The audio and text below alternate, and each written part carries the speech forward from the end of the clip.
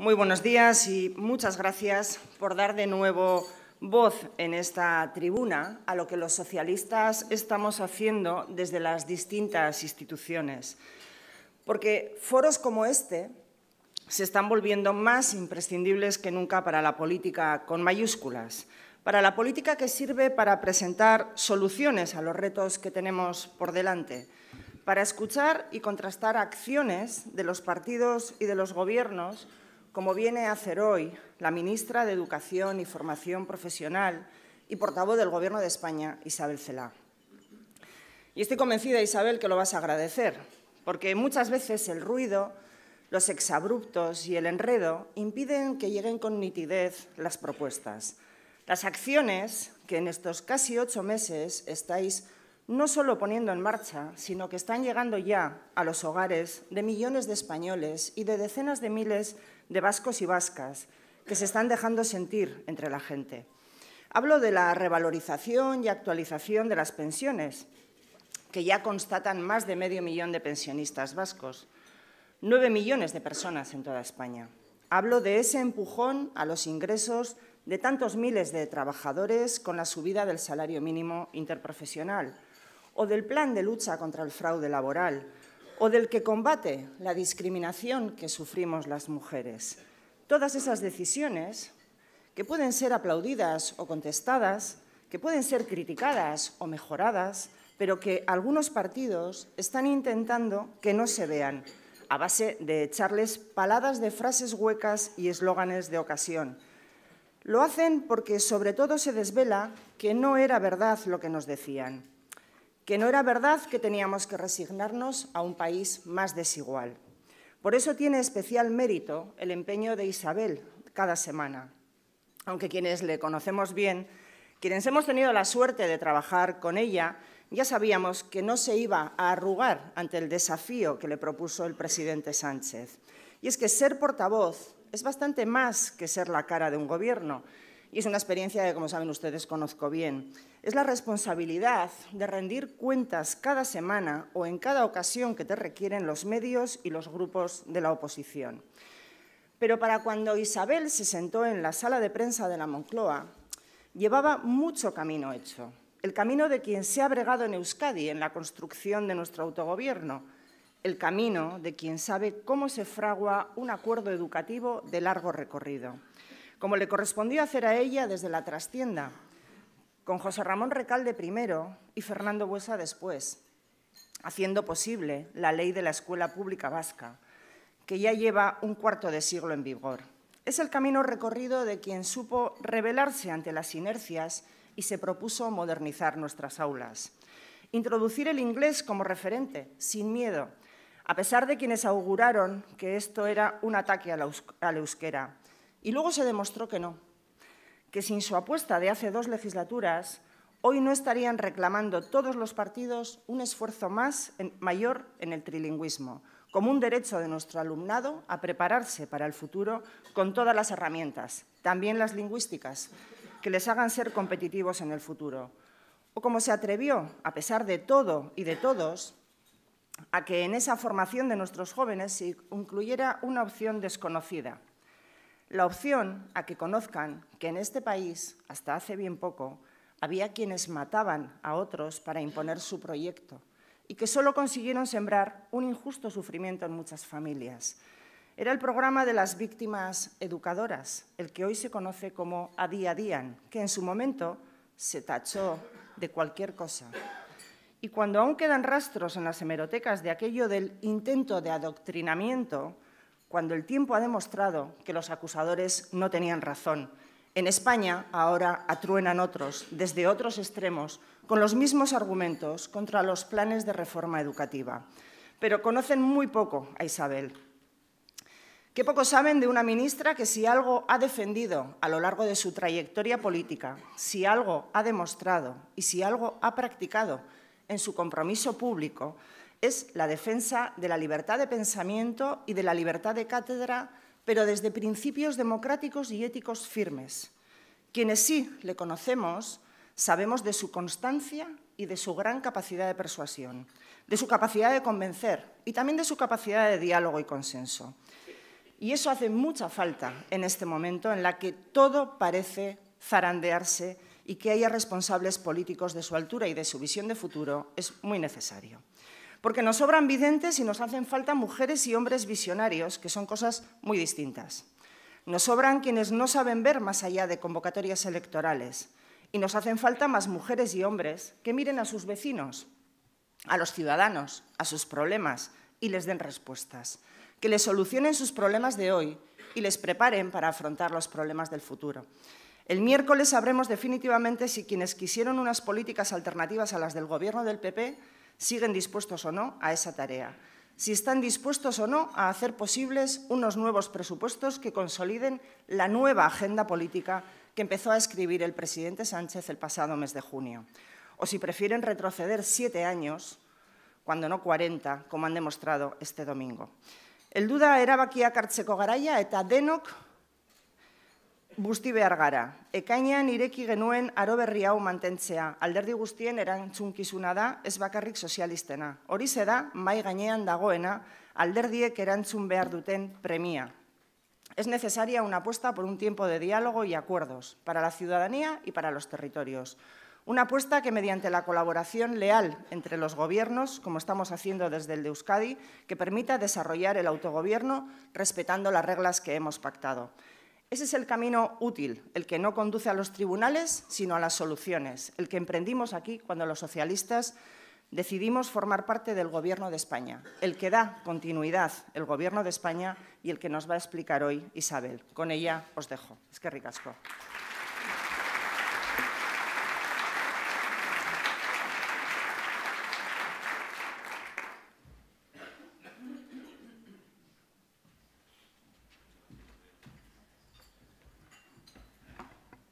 Egunon guztioi, posten naiz hemen zuekin egoteaz, lagunok, etxean naizealko. Buenos días. Eh, deseo comenzar mi intervención agradeciendo al Foro Nueva Economía su amable invitación para estar con todos ustedes en este acto. Agradezco también las palabras de Idoia Mendía por su generosa presentación. Les agradezco a todos su asistencia. Mi última intervención en este foro Nueva Economía de Bilbao, fue en el Ercilla, allá por el año 2012, y titulé mi discurso con la educación como principal factor económico. Hoy quiero hablarles de la educación y la formación profesional, mi negociado, como componentes fundamental de las políticas de conocimiento, la prosperidad y la cohesión social. Me dirijo a ustedes cuando se cumplen algo más de ocho meses desde que me hice cargo del Ministerio de Educación y Formación Profesional. Para mí, un honor que sea la primera vez en nuestra historia que el Ministerio lleva la referencia a la formación profesional en su encabezamiento. Una novedad que constituye sin duda una clara muestra de la voluntad política de reforzar la formación profesional como una prioridad de Gobierno. A ella me voy a referir más tarde. Nuestras sociedades de hoy, en 2019, tienen muy poco que ver con lo que eran en el año 2000, en los años 90 o en 1978. Nuestras sociedades han partido de muy abajo en todos los ejes troncales y sistémicos, en gobernanza, en competitividad, bienestar, educación, ciencia y virtudes cívicas. Pero su salto relativo y su avance en las últimas décadas ha sido muy significativo. Un avance a trompicones en unos casos constante en otros temas y errático a la hora de consolidar un acuerdo perdurable en materia de educación, universidades y ciencia, es decir, en lo que ahora llamamos políticas de conocimiento. El Gobierno de Pedro Sánchez llega tras la primera moción de censura que prospera en nuestra historia democrática, una moción que supuso un ejemplo de madurez de nuestro marco constitucional y un revulsivo regenerador de nuestra democracia con un claro cambio de rumbo en todas las políticas. Somos un gobierno con un sello profundamente europeísta y progresista, que está construyendo un modelo de prosperidad, diálogo y reconocimiento de la pluralidad y la diversidad. Un gobierno que busca soluciones, evita la crispación y apela a la inteligencia colectiva. Y en esa tarea Necesitamos una gran alianza con los sectores más dinámicos, más creativos de la España plural que somos, porque enfrente tenemos una serie de cambios y desafíos sociales, económicos y culturales de una gran envergadura.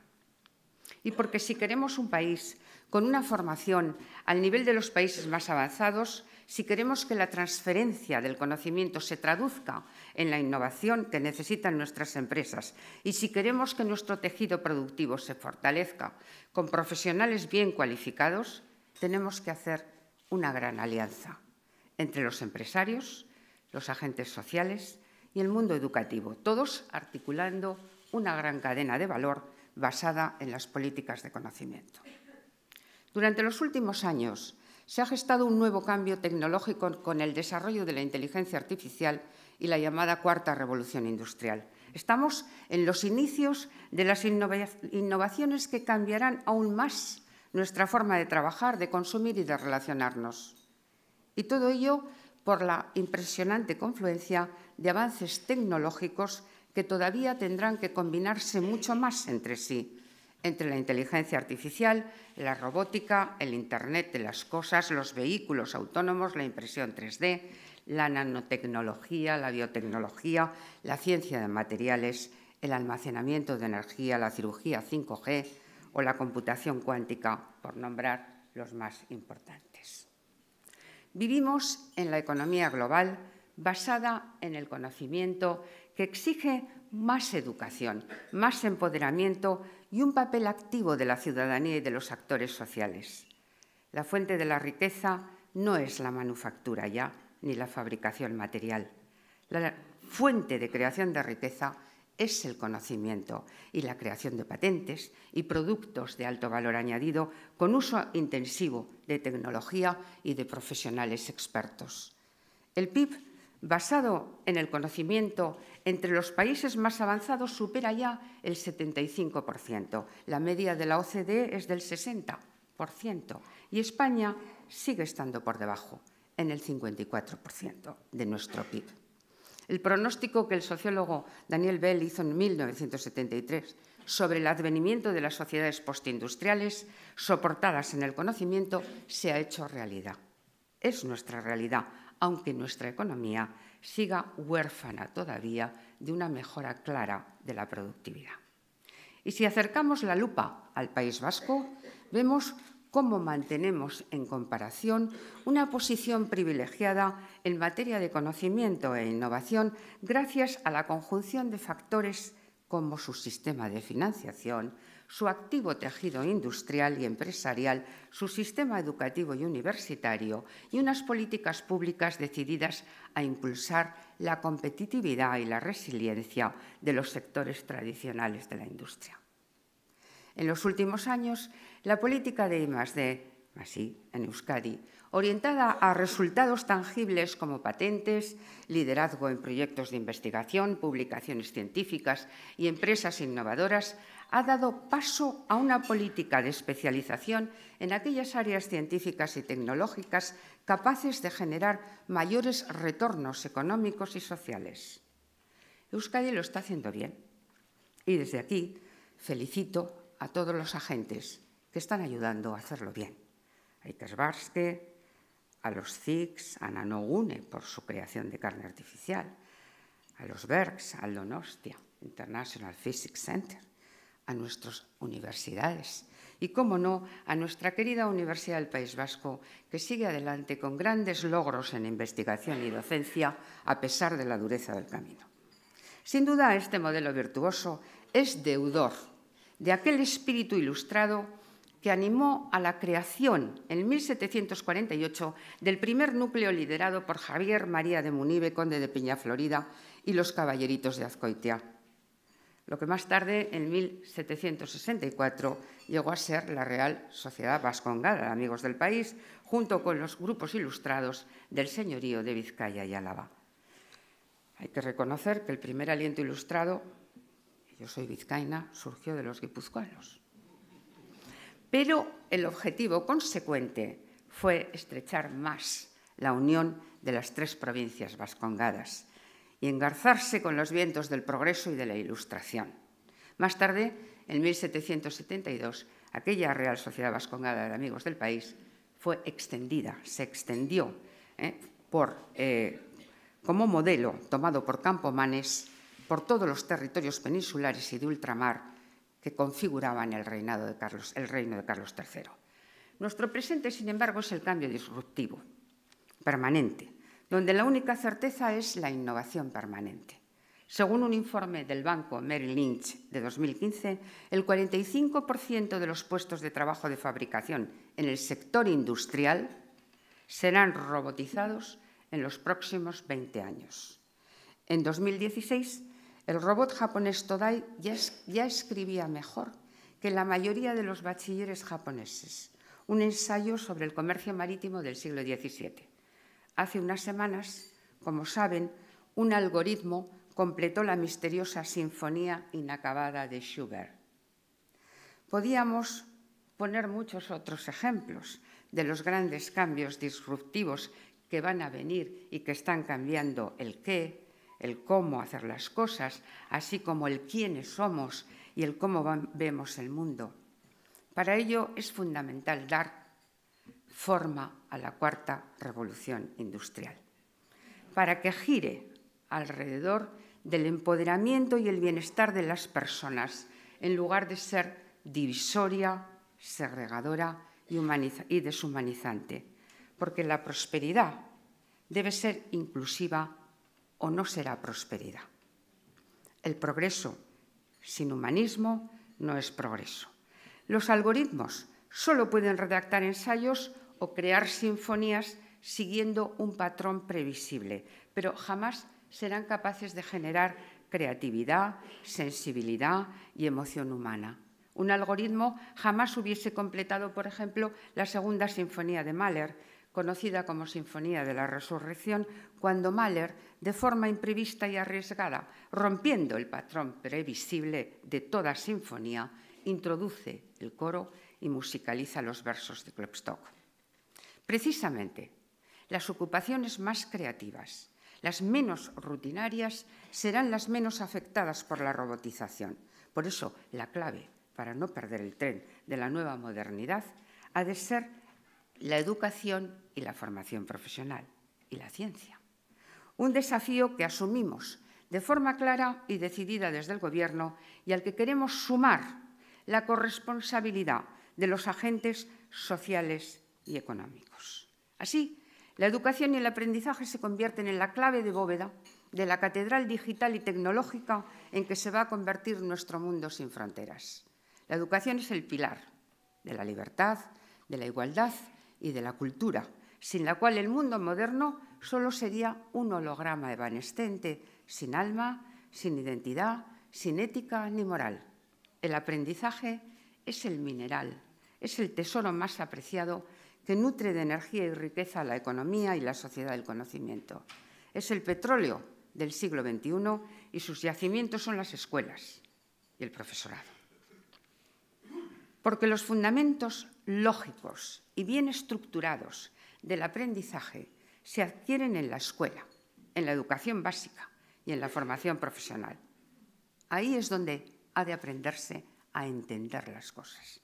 Una sólida base educativa refuerza a los ciudadanos con poder cognitivo para entender el mundo, para interrogarlo, para pensarlo de nuevas maneras, a la vez que nos permite disfrutar de las artes las lenguas, las humanidades y las ciencias como creaciones culturales que nos hacen más completos como seres humanos y más próspera nuestra sociedad. El proyecto educativo que planteamos forma parte del derecho fundamental de todos y todas a ser educados, lo que implica la obligación correlativa de los poderes públicos para servir ese derecho. Porque la escuela pública es el instrumento universalista que nos obliga a llegar a todos, sin distinción alguna, hasta el último pueblo o aldea remota del país. La privada concertada cumple también con su función social, allí donde decida estar por vocación. Porque es la escuela, en definitiva, la que cohesiona, la que fortalece y estructura el talento que necesita nuestra sociedad y nuestra economía. Hoy en día no tiene ningún sentido un sistema educativo que deje atrás a una parte de sus alumnos. Ninguno. Los socialmente más vulnerables. El país no puede permitirse perder ningún talento, más allá del sufrimiento y rebaja de la autoestima que supone el fracaso escolar para quien lo experimenta. Y sin embargo, en España todavía las repeticiones de curso consumen el 14% del presupuesto en educación primaria y secundaria, según datos de la OCDE. Con la LONCE, el número de repetidores aumentó hasta un 36%. En términos globales, el fracaso y el abandono escolar en España tienen un coste en torno al 6 y al 10% de nuestro PIB. Supone un auténtico despilfarro de talento, una ineficiencia económica y toda una hemorragia que hemos de curar y cicatrizar. Desgraciadamente, la LONCE tomó un camino equivocado. No solo rompió el equilibrio que se había ido alcanzando de forma laboriosa desde los años 90, sino que además introdujo nuevos problemas que ahora, cuando lleva cinco años aplicándose, se hacen patentes en aspectos tales como el aumento del número de repetidores de curso o el descenso de las tasas de titulación. Hasta cuatro puntos de descenso en las tasas de titulación de la ESO. La LONCE vino a desandar parte del camino de avance que veníamos recorriendo juntos. Los procedimientos de la LONCE no arreglan nuestros problemas, más bien los agravan.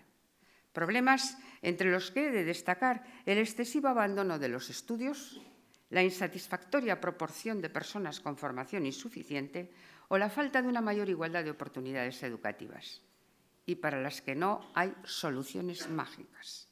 Ni la Unión Europea, ni la OCDE, ni la UNESCO avalan las reformas y soluciones mágicas ideadas en un gabinete sin diálogo ni diagnóstico compartido. Ahora estamos abordando todo un cambio de tendencia que pivota sobre la importancia de las políticas de conocimiento como fundamento de una prosperidad inclusiva donde nadie se quede atrás. ¿Es esto posible? Sí lo es. Y dado que el conocimiento ya es la fuerza productiva más determinante y estratégica de futuro, la política educativa del Gobierno, junto a la política económica del Gobierno, compartimos tres grandes objetivos. Primero, reducir las altas tasas de fracaso y abandono escolar al ser consideradas como improductivas y socialmente injustas. Para ello necesitamos un sistema que no se conciba como una carrera eliminatoria de obstáculos como hizo la LONCE, sino todo lo contrario necesitamos un sistema más flexible y personalizado, capaz de atender la diversidad de necesidades sin itinerarios segregadores. Un sistema capaz de prevenir y tratar, con el objetivo de que la inmensa mayoría de los alumnos y alumnas titulen. Un único título de la enseñanza secundaria obligatoria, tal y como proponemos en el nuevo proyecto de ley no dos de distinta categoría. Segundo, pretendemos elevar el nivel general de niveles formativos de la población joven y adulta para aprovechar mejor las ventajas del ciclo económico y aumentar la productividad, apostando claramente por la formación profesional como estrategia de país. Por ello, nuestro objetivo es que el 90% de nuestros jóvenes alcancen la educación secundaria superior, sea en grados medios de FP o en bachilleratos. Tercero, potenciar la educación permanente de adultos a lo largo de la vida como un nuevo derecho de ciudadanía y un imperativo para la competitividad económica, impulsando la acreditación de competencias adquiridas en la experiencia laboral como vía de enganche a la formación profesional no es de recibo que más de la mitad de la población activa en nuestro país, especialmente entre la población en desempleo, no acrediten hoy todavía ningún título a pesar de su experiencia laboral. ¿Y cómo hemos afrontado la nueva ley que va a derogar la LONCE? Desde la participación y con una inequívoca voluntad de llegar a acuerdos con la comunidad educativa. El proyecto de ley que remitiremos a Consejo de Ministros, que ya lo ha visto una vez, pero ha de verlos por segunda vez, todos los proyectos de ley se ven dos veces, llegará, como digo, en días al Consejo de Ministros. Se ha beneficiado ese proyecto y se ha enriquecido respecto al anteproyecto original con múltiples aportaciones, reuniones bilaterales y multilaterales con los equipos de diez comunidades autónomas, cinco no han intervenido, con sus consejos escolares y con otros ministerios. Me alegra decirles que a lo largo de este proceso he podido comprobar que existe un significativo grado de acuerdo en torno al proyecto, un grado de acuerdo, desde luego, mucho mayor que el que se suele reflejar en algunas tertulias o debates políticos. El nuevo proyecto viene a restablecer el equilibrio del sistema que quedó bien estabilizado entre 1990 y 2013, hasta que PERT impuso la LONCE. Existe una imagen exagerada de la sucesión de reformas y contrarreformas, pero el sistema educativo español es mucho más estable de lo que parece. Desde 1990 no ha cambiado ni de etapas ni de estructuras. El proyecto que preparamos incluye, voy a hablarles de cinco enfoques. El enfoque, primero, de derechos de la infancia entre los principios rectores del sistema, según lo establecido en la Convención sobre los Derechos del Niño de Naciones Unidas. Es la primera ley educativa española en hacerlo y tiene sus repercusiones. El segundo lugar plantea un enfoque transversal orientado a elevar los resultados de todos los estudiantes a través de la mejora continua de los centros educativos y una mayor personalización del aprendizaje. Presta una especial atención a la inclusión educativa que atiende la diversidad. En tercer lugar, reconoce la importancia de atender el desarrollo sostenible, la transición ecológica, los derechos humanos y la educación intercultural de acuerdo con la Agenda 2030. En cuarto lugar, adopta un enfoque transversal de igualdad de género y prevención de la violencia de género a través de la coeducación. Fomenta la, orientación educativa y profesional del alumnado con perspectiva inclusiva y no sexista. En quinto lugar, tiene en cuenta el cambio digital que se está produciendo en nuestras sociedades y que forzosamente afecta a la actividad educativa. Acceso universal y educación crítica para el buen uso de las redes. Nuestro objetivo último es reforzar siempre la equidad y la capacidad inclusiva del sistema, haciendo que el aprender a aprender se universalice, que sea un eje transversal, desde la educación infantil hasta la formación profesional, y una garantía para que todos tengan capacidad de superarse y aprender a lo largo de la vida. La repetición de curso, última ratio. Debemos adoptar, además, un título único al final de la ESO, que sirva tanto para ir a formación profesional de grados medios como para ir al bachillerato. Porque, y sin prueba externa, porque cómo poner barreras tratándose de la educación básica. Ningún país lo hace. Nosotros lo hemos venido haciendo estos últimos años. Queremos además, tenemos además una singular sensibilidad por la inclusión de la educación especial en centros ordinarios, lo que no implica para nada cerrar los centros de educación especial existentes. Velamos por el bien superior del menor, sea cual sea la diversidad funcional que tenga. Cuidamos las necesidades singulares de la escuela rural y de la escuela insular, en Canarias y en Baleares. Impulsamos el cambio, la mejora y la innovación educativa para elevar los resultados escolares y la eficacia interna de los centros educativos reforzamos la figura profesional de las direcciones de centro como factor clave para la calidad del sistema y avanzamos en términos de democratización y participación en los centros, en los consejos escolares. La ciudadanía nos reclama un sistema educativo mucho más moderno, mucho más abierto, menos rígido, más flexible, multilingüe y cosmopolita. Y en eso estamos trabajando, en mayor autonomía, mayor rendición de cuentas, más flexibilidad, más apertura del sistema. Este Gobierno tiene el propósito decidido de analizar, valorar y resolver los problemas que tiene también el profesorado y el conjunto de quienes trabajan en los centros educativos.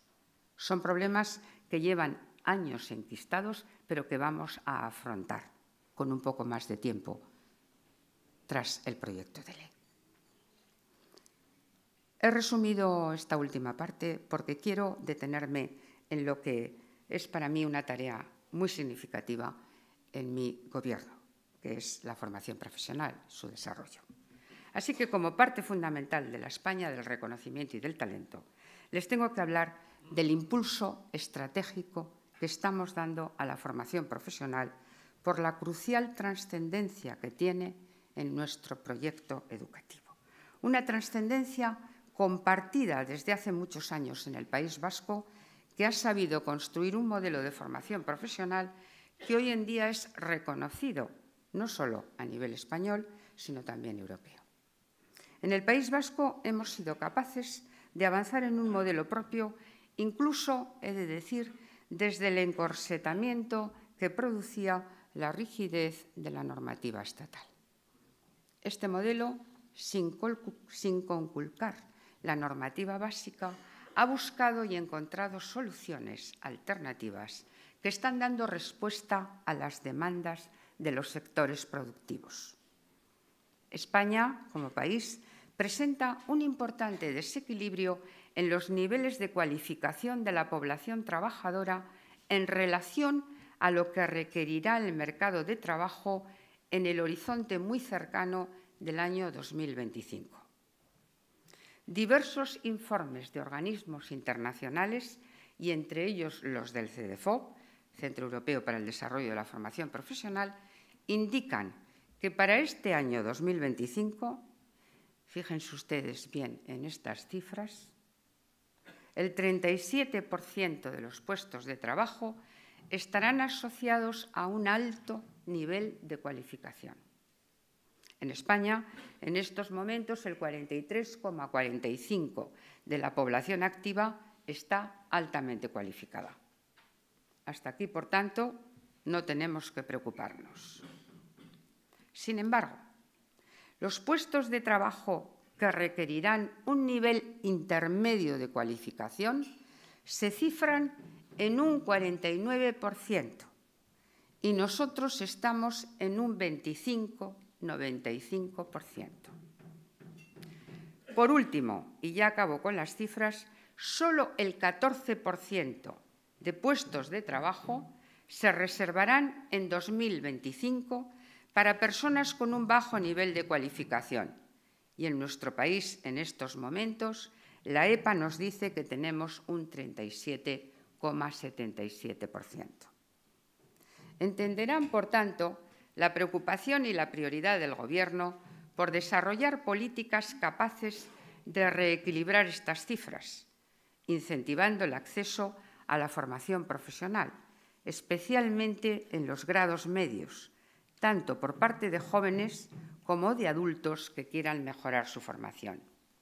Nos encontramos, por tanto, en un momento en el que desde el Ministerio de Educación y Formación Profesional que dirijo pretendemos reenfocar de forma decidida las enseñanzas de formación profesional y para ello debemos contar, como no podía ser de otra manera, con el concurso de empresarios y sindicatos.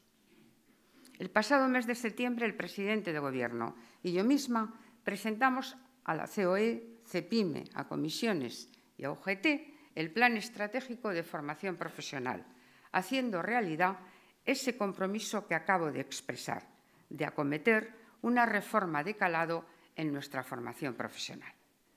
El plan estratégico fue también presentado con posterioridad al Consejo General de la Formación Profesional, que no había sido convocado en siete años. Desde entonces estamos trabajando en ese plan, con las siguientes pautas.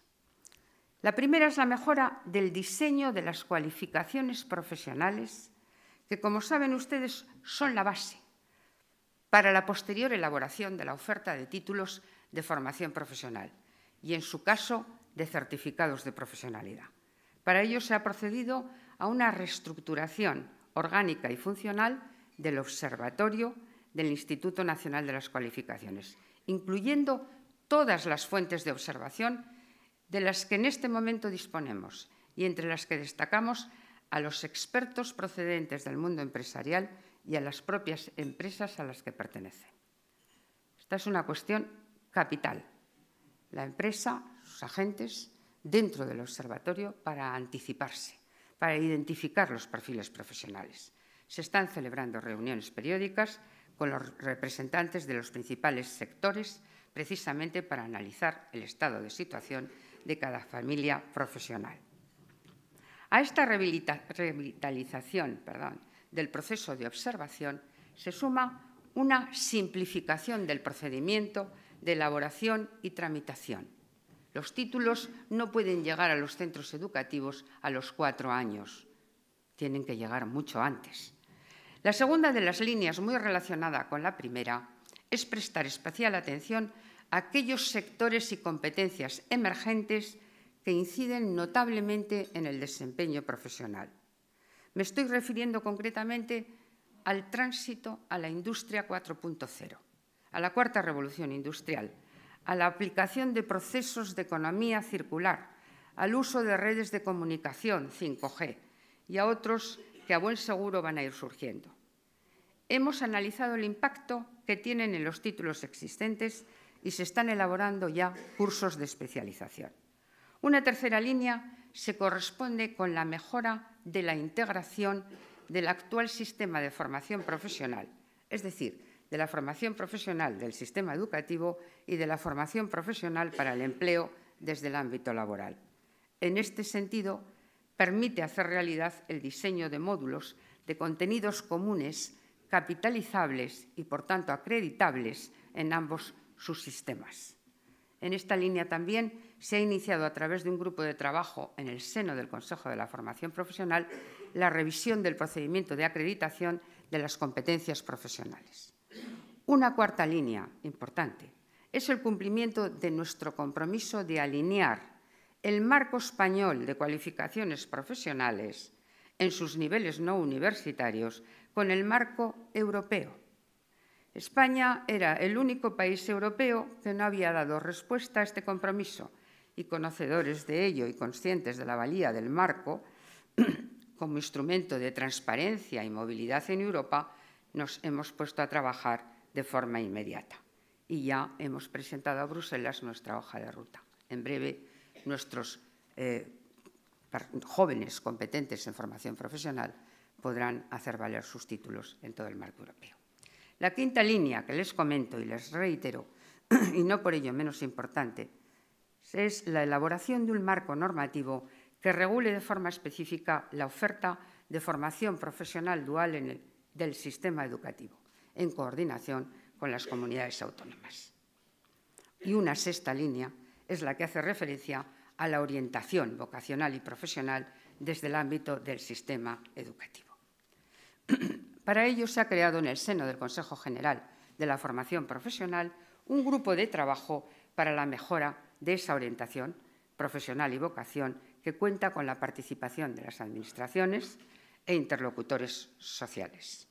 Todas estas líneas de actuación de carácter relevante se están llevando a cabo sin perjuicio de otras actuaciones que forman parte también de las responsabilidades del Ministerio, como la creación de los ciclos de formación profesional básica o la admisión a ciclos formativos o la red de centros integrados de formación profesional de acuerdo con las comunidades autónomas. Permítanme que les diga, voy concluyendo, que tenemos un buen sistema de formación profesional, como lo evidencia el resultado de la participación española en la competición Euroskills o la reciente demanda de títulos de FP de grado medio por parte de Alemania para cubrir puestos de su sistema ferroviario y de otras industrias. Pero necesitamos mejorarla. Necesitamos aumentar su cobertura y, sobre todo, agilizar su adaptación continua a las nuevas necesidades. Como país no podemos perder el tren de la cuarta revolución industrial, mucho menos cuando tras la salida de la Gran Bretaña, del Reino Unido, de la Unión Europea con el Brexit, puede abrirse una oportunidad, que lamentamos obviamente, puede abrirse una oportunidad para España para ejercer como potencia europea importante. Desde que estalló la crisis se ha desinvertido en ciencia 20.000 millones de euros, según el informe de la Confederación de Sociedades Científicas de España. Implica una caída de recursos para la ciencia del 40%, una caída del 60% en el número de patentes y la pérdida del 9% de nuestros científicos que han tenido que expatriarse. En educación infantil y primaria, secundaria y formación profesional, el gasto público disminuyó en España un 11,7% entre 2009 y 2016, mientras el número de estudiantes aumentaba en 550.313 efectivos. En cambio, en ese mismo periodo, la media de los países de la OCDE creció un 5% en gasto educativo no universitario. Se trata de un retroceso de inversión educativa y en ciencia que nos aleja aún más de la media europea y nos lastra en competitividad y productividad en plena sociedad del conocimiento. España tiene importantes fortalezas, importantes. Tiene unas cifras de crecimiento ahora mismo superiores a los de los países de su entorno. Tiene seguridad institucional, tiene un sector empresarial sólido, tiene unas buenas infraestructuras de transporte y digitales, tiene liderazgo en sectores tractores y tiene presencia exterior, pero también cuenta con importantes debilidades. Así que reconstruir lo perdido en educación y ciencia para volver al punto de partida puede convertirse en una tarea titánica. Pues para quien se queda descolgado en el contexto internacional, es muy difícil alcanzar a quienes siguieron avanzando, aún más se nos llevaban ventaja. Pero hay que hacerlo. La primera condición de nuestra política de conocimiento, educación y ciencia debe ser la garantía de la continuidad en la llegada de los recursos. El Gobierno es consciente de este reto. Y los próximos presupuestos generales del Estado para 2019 así lo muestran. Suponen todo un punto de inflexión. Para nosotros es fundamental aprobarlos para enfilar un horizonte distinto hacia una España del conocimiento y del talento acompañada de más equidad.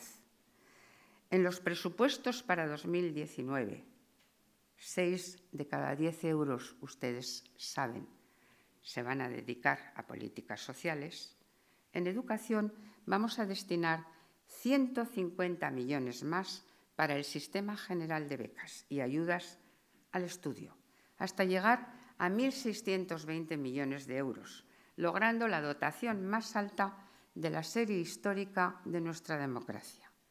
Además, se duplican las ayudas para material escolar, beneficiando a la infancia más vulnerable. Nuestra previsión continúa y es la de aumentar la dotación de becas entre 2019 y 2020 en 536 millones más es decir, un aumento en becas del 36,5%. Para ciencia e innovación, el aumento es del 8%, dejando atrás los ajustes derivados de la crisis. Son un punto de inflexión que poco tienen que ver con el ejercicio anterior. En el plan presupuestario que el anterior Gobierno envió a Bruselas en 2017, la previsión era destinar a educación y universidades un 3,8% del PIB en 2018. Y aún era peor la previsión para el año 2021, del 3,7% del PIB. En cambio, en la nueva previsión enviada por nuestro Gobierno a Bruselas, nuestro compromiso es elevar hasta el 4% del PIB el gasto público en educación y universidades. Es más, me propongo a trabajar con todos los partidos políticos a fin de llegar a un consenso sobre un marco de crecimiento progresivo del gasto, paulatino del gasto en educación, para que al margen de coyunturas económicas adversas o de alternancias políticas podamos alcanzar antes de 2025 el suelo de un 5% de PIB en gasto público educativo. Este debería ser el auténtico pacto educativo, un pacto que blindara la inversión en becas, en educación, en ciencia y universidades, para converger con la media europea de inversión. Un pacto para dejar a la educación y a la ciencia como territorios exentos de recortes, apostando todos juntos por la España del conocimiento y del talento que recupere el tiempo perdido, estabilice nuestros sistemas de educación y ciencia, atraiga el talento del exterior y nos proyecte hacia un futuro más sostenible y prometedor. Debemos asumir con valentía y responsabilidad los nuevos cambios, la nueva agenda del cambio. Debemos asumir todas sus consecuencias, que aprender no es adquirir información, sino construir y generar conocimiento, el conocimiento tiene rendimientos crecientes, dado que aumenta y se reproduce de forma geométrica. Se estima que el stock de conocimientos existentes se duplica cada 15 años, mientras que el stock o volumen total de información se duplica cada tres meses. Con la expansión de Internet, la información se ha masificado, se ha hecho gratuita, ha perdido valor, dado que queda rápidamente obsoleta y olvidada no está ni ordenada ni jerarquizada. Para determinar qué información y datos son valiosos y cuál es su interpretación correcta, necesitamos el conocimiento. Las cabezas de nuestros alumnos no han de estar tan llenas ni tan sobrecargadas de contenidos ni de información. Han de estar mucho mejor estructuradas.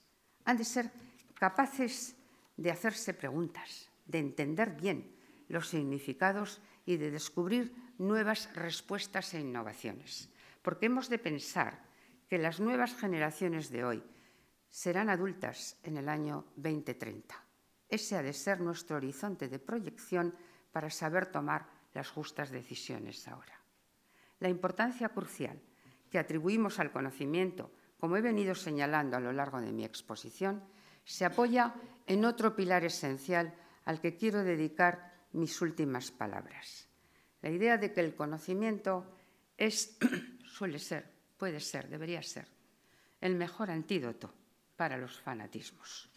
Nuestras sociedades han entrado en una peligrosa dinámica en la que apenas hay tiempo para la reflexión, mucho menos para una reflexión serena. La actividad social responde un esquema de acción-reacción a un ritmo acelerado. Si a esto añadimos la perversión de la posverdad, no es de extrañar que estemos contribuyendo a crear mentes con escasa capacidad crítica, a las que les resulta difícil identificar distintas posiciones, analizar argumentos con lucidez, contrastar, sopesar, entender en último término que la realidad es compleja, que las claves están en los matices, no en el blanco o en el negro, esta falta de sosiego intelectual y de ejercicio de racionalidad es el caldo de cultivo de los fanatismos y de quienes los alientan. La educación es el instrumento más valioso con el que contamos para revertir esa tendencia. En las aulas debemos ayudar a que los alumnos y alumnas tomen conciencia de esa realidad cotidiana en la que nos encontramos inmersos, puedan analizarla y valorarla y sobre todo puedan construir una forma de pensamiento reflexivo y crítico que les permita situarse ante esa avalancha de desinformación con la solidez que la herramienta del conocimiento nos aporta. Esa es nuestra meta, esa es nuestra apuesta, por la que estamos trabajando y para la que necesitamos el apoyo no solo del sector educativo, sino de toda la sociedad.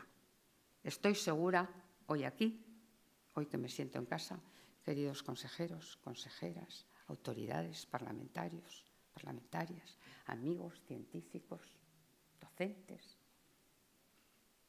Es que os conozco a todos. ¿Eh? ¿Qué pasa? ¿Que solo habéis venido los amigos o qué? ¿Eh? Bueno, que os quiero mucho, quiero decir. ¿eh?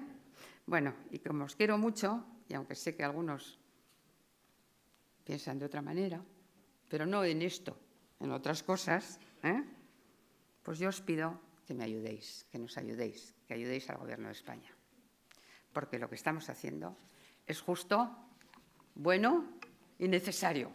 Así que muchas gracias, buenos días y necesito vuestro empuje. Muchas gracias.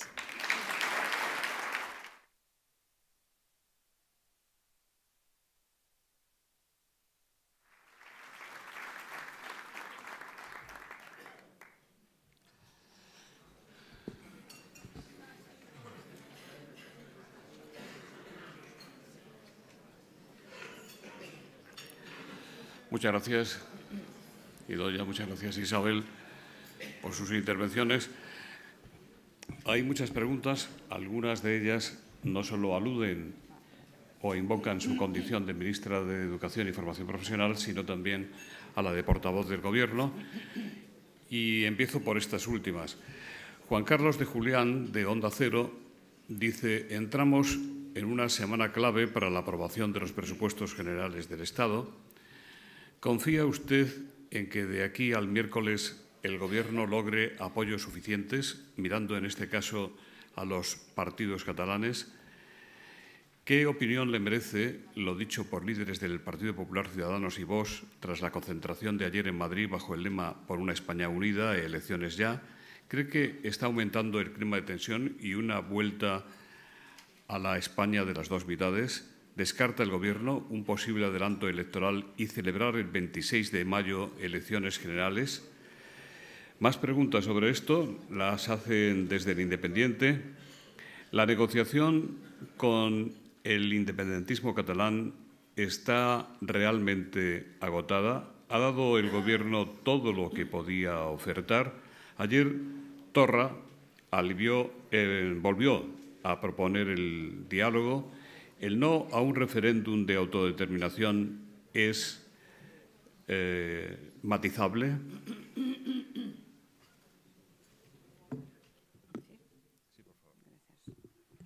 Sí, gracias. Sí, gracias por las preguntas, varias. Eh, bueno, de aquí al miércoles en política hay un siglo.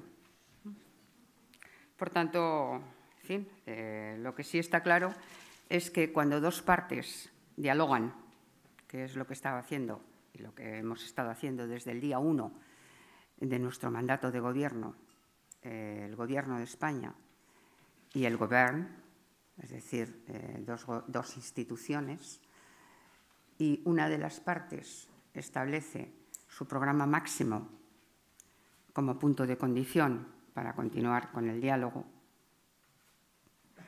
entonces hay que parar. Y eso es lo que ha hecho el Gobierno de España, parar.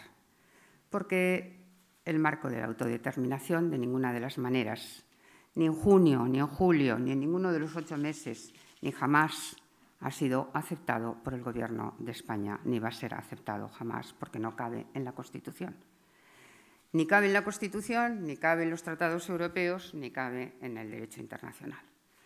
Y esto lo saben las fuerzas independentistas desde el día uno. Siempre hemos dicho, con el diálogo en una mano y con la ley o la Constitución, solo decir yo, en la otra. Y esto lo tengo muy claro porque cada viernes lo repito. Por tanto, no hay ninguna novedad al respecto. Eh, la concentración de ayer, eh, en la concentración de ayer eh, de las tres derechas, unas salieron ganando más que las otras. En general, Lamentamos que cuando que una vez más se vuelva a repetir en la historia de España lo mismo y es que cuando las derechas gobiernan piden lealtad y generalmente se les presta con sentido de Estado. Así hizo el Partido Socialista cuando estaba en la oposición, con el mismo líder, con el mismo secretario general que hoy es presidente de gobierno. Prestó ayuda de Estado en la aplicación de un 155 cuando, otras, haber dos referéndums eh, en Cataluña y alguna vulneración, dos vulneraciones con dos leyes del Parlamento de eh, los mandatos constitucionales. Sin embargo, a este presidente de gobierno que prestó ese eh, trabajo, esa labor de Estado, a ese mismo presidente de gobierno, ayer se le hizo una concentración en Colón de las tres derechas para pedirle que saliera y además, sobre todo, para acusarle de traidor sobre fundamentos falsos. Porque nadie ha aceptado lo que dicen que se ha aceptado con la Constitución en una mano, con el diálogo en la otra. Y el diálogo, todo diálogo que quepa en la Constitución es bienvenido, porque las democracias no se resuelven con eh, fórmulas binarias de un sí o un no. Es mucho más, es mucho mayor la complejidad, las complejidades de las sociedades que es preciso articular para ponernos poder de acuerdo. Por tanto, eh, frente a el que trabaja, es decir, el gobierno de España está trabajando para unir. Esa es la idea del diálogo con Cataluña, unir, es decir, procurar buscar un marco en el que Cataluña se pueda volver a acomodar dentro de España. España, Cataluña es una comunidad autónoma y en ella no hay mayoría social de independentistas. Pero está claro, está claro que existe un conflicto catalán, existe una crisis en Cataluña, largamente larvada, enquistada. No es una cuestión coyuntural, es una cuestión estructural que viene larvándose desde un poquito antes de 2010, que se intensificó en 2010 y ha continuado. Y ha continuado larvándose con una falta clamorosa de diálogo por parte de la política. Ese diálogo lo hemos iniciado. El gobierno del presidente Sánchez, nuestro gobierno, ha tenido dos objetivos fundamentales desde el día de su nacimiento. Uno, el blindaje del estado de bienestar. Para ello, los presupuestos generales del Estado. Y dos, encauzar el conflicto o la crisis de Cataluña. Esos han sido los dos grandes objetivos de este Gobierno y hemos llegado a un punto en el diálogo donde las fuerzas independentistas han puesto su programa máximo sobre la mesa. Y hemos parado. Sánchez va a convocar elecciones. Le pregunta si Iker Esnal de Euskadi Ratia y también lo hace José Anizarra del, del Mundo. Eh, corresponde exclusivamente al presidente esa facultad. Eh, lo que sí les puedo decir es que ciertamente si los presupuestos generales pueden ser tramitados, y eso lo sabremos la semana que viene, pueden ser desplegados, porque ya es triste que entre las fuerzas políticas no seamos siquiera capaces de desplegar los presupuestos generales, unos presupuestos generales que por fin traen eh, los necesarios eh, derechos que habían sido arrebatados durante la crisis a las familias, a, la ciudadanía, a la gente de a pie, tras además eh, España haber experimentado un crecimiento importante desde el año 2014-2015. Es decir, estamos experimentando un crecimiento, las cifras macroeconómicas españolas son robustas, todavía lo son, todavía lo son a pesar de que los vientos de cola eh, europeos e internacionales eh, hayan amainado un poco, pero ciertamente todavía lo son. Todavía España para el año 2019 va a crecer más que el resto de los países de su entorno. Y cuando este crecimiento se está produciendo, lo verdaderamente importante es permitir que ese crecimiento pase, se traslade a las familias, a la clase media y trabajadora que fueron los principales sufridores de la crisis. Eso es lo que quieren decir estos presupuestos generales. Por eso tenemos tanto empeño en que puedan ser aprobados, por lo menos desplegados, para saber lo que contienen. Y esos presupuestos generales son los que llevan mejores becas, son los que llevan una mejor, mayores recursos para la ciencia, son los que tienen mayores ayudas a la dependencia, al salario mínimo interprofesional, a las pensiones, al, copago farmacéutico, es decir, son políticas sociales fundamentales. Bueno, eh, si hay presupuestos generales, transitaremos el 2019 con la, con la normalidad de cualquier gobierno. Si no los hay, pues ciertamente el tiempo, como suele decir el presidente, será más corto. ¿Hasta el 26 de mayo? Solo a él le corresponde, solo al presidente de gobierno le corresponde tal facultad. Es una eh, facultad constitucional del presidente de gobierno. Afortunadamente, solo a él le corresponde decidir. Anchón Patiño le pregunta, ¿está el Gobierno, más aún, está la sociedad española preparada para afrontar un juicio a los secesionistas televisado durante tantas semanas? Sí, sí que lo está. Eh, de facto, eh, esta misma mañana o ayer a la noche oí que 600 eh, representantes de los medios de comunicación habían pedido acreditarse. Hay una gran curiosidad, hay una gran expectación en relación a este, a este, juicio que seguramente será uno de los principales de nuestra historia vital. y mm, lo importante es que va a ser un juicio con todas las garantías eh, esto está fuera de toda cuestión, es un juicio con todas las garantías y además será televisado. Y bueno, pues eh, los españoles y las españolas y los ciudadanos y ciudadanas de todo lugar eh, podrán asomarse a las pantallas a gusto. Desde el mundo, mm, el diario El Mundo de Euskadi dice, usted fue muy crítica en el País Vasco con la gestión del Departamento de Educación por el PNV y el tiempo le ha dado la razón porque pese a ser la comunidad que más gasta, sus resultados son mediocres, con la perspectiva de que, le da la responsabilidad de ministra, ¿por qué Euskadi obtiene por evaluación por parte de PISA más que menos que Castilla-León, Madrid o Navarra? ¿Qué propondría a la consejera Uriarte, felizmente presente entre nosotros, para al menos igualar a comunidades que invierten la mitad de esos recursos? Bueno, el sistema educativo vasco no es comparable a ningún otro. Quiero decir, mm, ya sabemos que todos los sistemas educativos tienen sus especificidades, pero el sistema educativo vasco tiene una eh, que lo hace particularmente heterogéneo.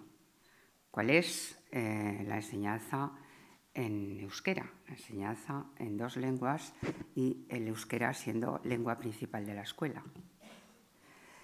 Esto eh, hace que el sistema tenga que pivotar sobre una dificultad que otros no tienen, no tienen que enfrentar, porque la distancia filológica entre el euskera y el castellano es mucho mayor que la distancia filológica que puede haber, por ejemplo, entre el valenciano y el castellano o el catalán y el castellano. Esto lo hace diferente. Si bien, obviamente, desde la oposición, si yo me encontrara otra vez en la oposición en el País Vasco, seguiría impulsando la mejora de los resultados escolares. Porque eh, esa es la labor que tiene que hacer el sistema, mejorar sus resultados escolares. Y puede que se encuentre en un momento crucial el sistema educativo vasco, igual que otros sistemas educativos en otros sitios. Y es eh, tendrá que, habrá que eh, reflexionar sobre cómo conseguir mejor los resultados académicos. Yo creo que cada día podrá ir progresando más en función de cuál es el mejor funcionamiento de las lenguas cooficiales. Hablaba usted, señora ministra, en su intervención sobre los riesgos de la posverdad y Gorka Mendizábal Dice, somos muchos los padres preocupados por la noticia de que ustedes proyectan cerrar o reducir los centros de educación especial. ¿Es una noticia falsa? Sí, lo es, lo es. Es decir, la previsión que hay a este respecto en el proyecto de ley que planteamos es hemos de avanzar en la normalización, eh, en, la, inclusión, en definitiva, de los niños y niñas con algún tipo de diversidad funcional o capacidades diferentes en centros ordinarios, para incluirlos en centros ordinarios, porque eh, en los últimos 15 años eh, hemos avanzado muy poco, apenas hemos avanzado muy poco en los últimos 15 años. Por tanto, hemos de avanzar algo más. Todavía tenemos un 17% de niños con diversidad funcional en centros educativos especiales, mucho más que los países de nuestro entorno. Si bien ningún niño, ninguna niña puede ser sacrificado por mor de una idea de inclusión. Por tanto, perseguimos el bien superior del menor. Y en ese sentido, los centros educativos especiales que ya existen hacen una gran labor, por lo tanto, queda excluido, queda totalmente excluida la idea de su cierre. Esos centros educativos especiales continuarán, podrán admitir alumnos, a pesar de que el, ambiente general sea el de tratar de reconducir la mayor cantidad de alumnos y alumnas que puedan a un centro ordinario, porque observamos, observamos las ventajas de su tratamiento en centros ordinarios, si bien todavía algunos niños y niñas eh, se quedarán en centros educativos especiales para su mejor tratamiento. Por lo tanto, el Ministerio, el Gobierno, no está pensando en los cierres de centros de educación especial. Luis Cañada, de Novia Salcedo, dice, ¿qué opinión tiene su ministerio y qué opina el Gobierno sobre el coste de la seguridad social de los jóvenes que desarrollan prácticas no laborales, es decir, a través de becas? También le preguntan desde Onda Cero sobre este tema, ¿en qué ha quedado la polémica en torno a los becarios y a su alta en la seguridad social? Usted no parece muy partidaria y su criterio se enfrenta al de la ministra de Trabajo, Magdalena Valerio. Por otro lado, ¿quién debería cotizar por los estudiantes que reciben una beca? La medida establecida por el Real Decreto Ley, eh, la disposición adicional quinta creo que está, el Real Decreto Ley, eh, es una medida que busca, eh, que busca mejorar la situación del alumno, sin duda. Es decir, busca una mejor cotización a la seguridad social, busca que efectivamente la seguridad social identifique el alumno desde, desde esa edad, busca que las empresas también tengan claro qué alumnos reciben para las prácticas. Es decir, eh, se busca un bien eh, interesante. Si bien, y sin tener mayores discrepancias con el Ministerio de Trabajo con el que me coordino habitualmente, es decir, eh, estamos trabajando conjuntamente, si bien eh, hay una cuestión que eh, a nosotros nos importa, sobre todo para los centros y para la formación en centros de trabajo de la formación profesional. Y no solo de la formación profesional, sino para las prácticas, el practicum que se hace, que necesitan hacer los alumnos universitarios en otros lugares. A este respecto, eh, esta disposición adicional del Real Decreto Ley está sujeta, en primer lugar, a una tramitación como ley, porque ese Real Decreto Ley se está tramitando como proyecto de ley en el Congreso de los Diputados, luego está sujeto a enmienda. Pero además está sujeta a un desarrollo, eh, a un desarrollo reglamentario.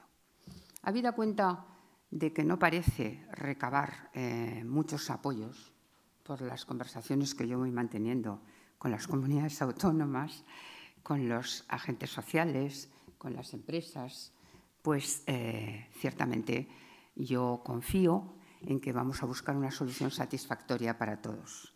De facto, la propia ministra Valerio de Trabajo eh, apunta, ya me ha apuntado alguna, en relación a las bonificaciones que eventualmente recibirían las empresas, con lo cual eh, la carga sería equivalente a o muy poca o nada.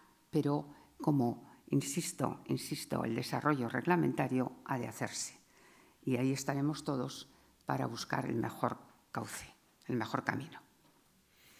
Los gobiernos central y vasco están negociando ya 33 transferencias pendientes del Estatuto de Guernica. En el Ejecutivo de Urcuyu no ven garantía total de que se transfieran todas. ¿Usted puede hablar de esa garantía? ¿Dependen esas transferencias de la aprobación de los presupuestos y de que los independentistas catalanes aflojen la presión sobre el Gobierno de España? Eh, yo creo que el Gobierno vasco eh, confía en el Gobierno, en la voluntad del Gobierno central. Eh, ha habido reuniones interesantes entre el consejero aquí con nosotros, Ercoreca, y la propia ministra Batet, la ministra de Política Territorial, con resultado satisfactorio acerca de la transferencia, de esas 33 transferencias repartidas en tres bloques, el último de los cuales empezaría a partir de julio y lo cerraría la, transferencia de prisiones.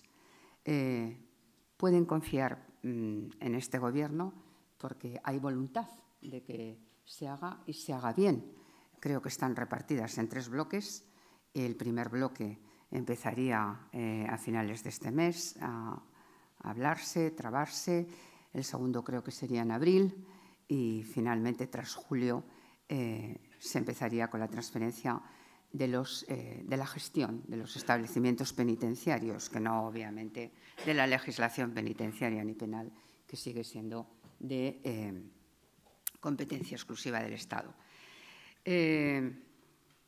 si nuestro gobierno nuestro Gobierno seguirá con ello. Le dicen, los costes medios por alumno en la educación pública se casi duplican los costes en todos los niveles educativos de la educación concertada y no pública. ¿Qué medidas está tomando su ministerio para resolver ese grave problema de falta de eficiencia? También le preguntan, en su visión de la educación, ¿dónde enfoca la autorización de proyectos diferentes de centros y la libertad de elección de proyectos por parte de las familias. ¿Qué rol le asigna usted a la escuela concertada?